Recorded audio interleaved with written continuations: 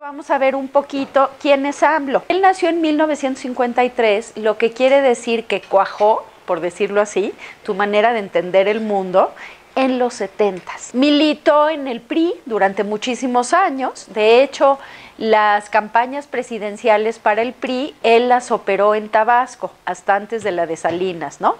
Eso también nos dice mucho.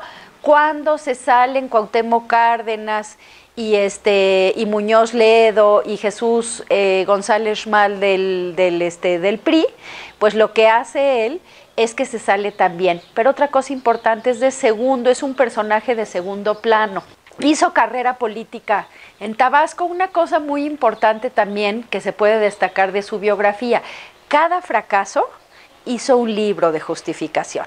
En el, estuvo en el gobierno este, capitalino y después de esto ya empezó con querer ser presidente y a partir del 2011 que se crea este Morena, que es muy hábil que se crea como movimiento y no como partido, porque permite aglutinar saltándote las trancas de los requerimientos específicos para los partidos.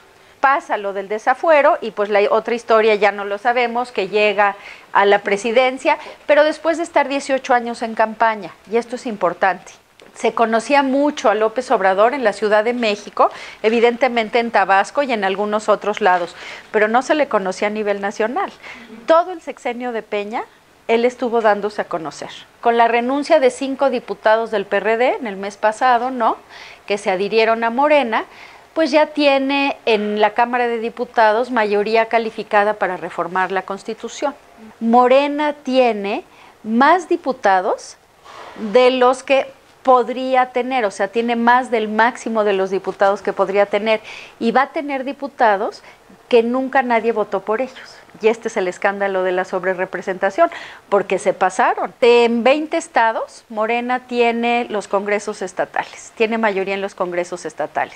Súmale el poder de los superdelegados, es exactamente y, dices va a ganar entonces esto lo que hace es reeditar lo que primero fue la creación del PRM con Cárdenas no y es decir es reeditar esto con otro momento. Vamos a hablar un poco de la comunicación ya para cerrar. Es un modelo de comunicación donde hay un líder una narrativa donde hay una idea central que es la cuarta transformación.